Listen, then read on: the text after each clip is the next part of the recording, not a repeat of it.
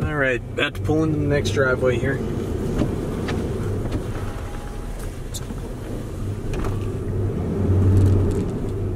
Slippery.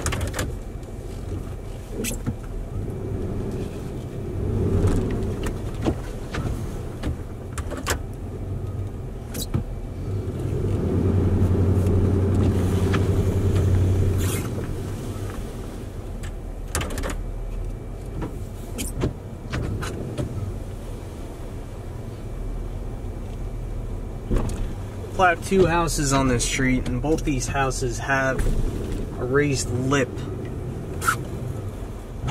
between the roadway and the beginning of the driveway. So, I mentioned this in a previous video. I'll talk about it again. Get over up up over this lip, angle your plow to the right till you hit, raise it up, and drop it back down.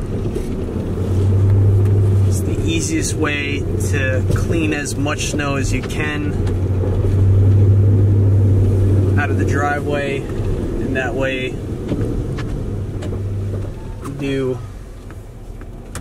uh, don't really put any wear and tear on your plow, or minimal wear and tear on your plow is what I was getting at.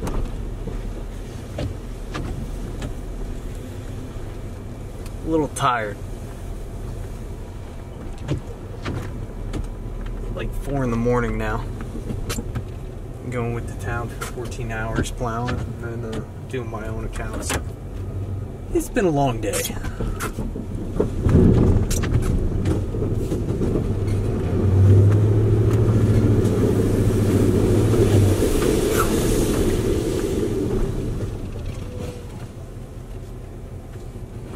Get to the end of the driveway where I think the grass is just about to start. Raise the plow up little bit and then keep pushing it forward.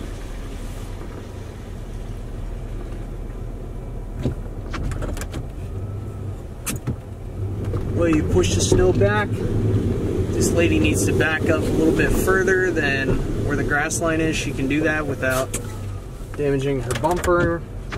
And we also provide more room for more snow in the future if that's what Mother Nature intends, but Mother Nature's been not that grateful to us plow guys this year. She must be a feminist. Ha ha ha ha ha. I thought it was funny.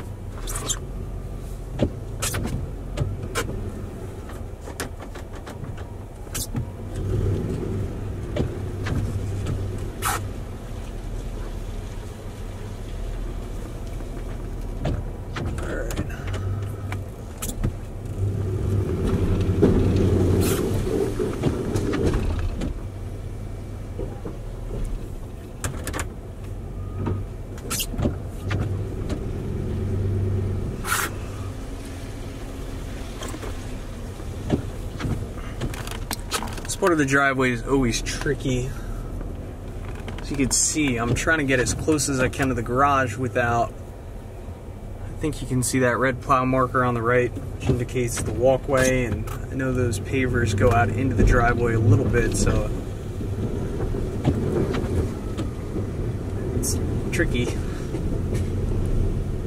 Like you're kind of playing a risk reward game here.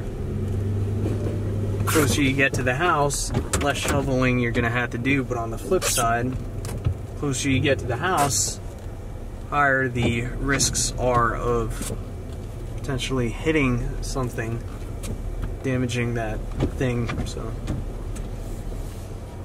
as always, use your brain.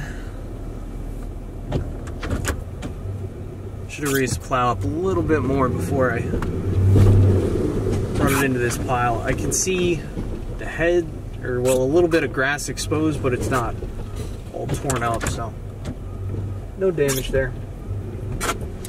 All right, I'm gonna do this walkway and that's it for this driveway. I want to conclude by saying these are the best types of driveways out there because you don't have to mess around with back dragging. Just drop that plow and push everything forward. And then if you get a couple neighbors, couple houses like this on the same block, then you know you're not losing money in travel time. The more you keep that plow down, the more money you'll make. Thanks for watching and stay tuned for the next one.